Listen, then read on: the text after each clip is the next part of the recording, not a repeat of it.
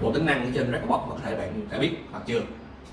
Ở trong mục Analysis của phần setting Recordbox thì các bạn có thể thấy nó sẽ có hai mục đó chính là Normal và Dynamic.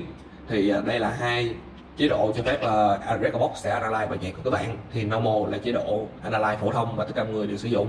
Cho phép Recordbox analyze đã được uh, tempo được key và set được bit trên bài nhạc của các bạn. Còn dynamic là một chế độ analyze của Recordbox cho phép Recordbox sẽ analyze bài nhạc của các bạn từ tempo này sang tempo khác và từ thể loại này sang thể loại khác. Thì đối với lại dynamic thì Recordbox sẽ tự động set, thay đổi tempo và set được bit rate theo đúng với lại cái tempo bài nhạc của các bạn đang chơi.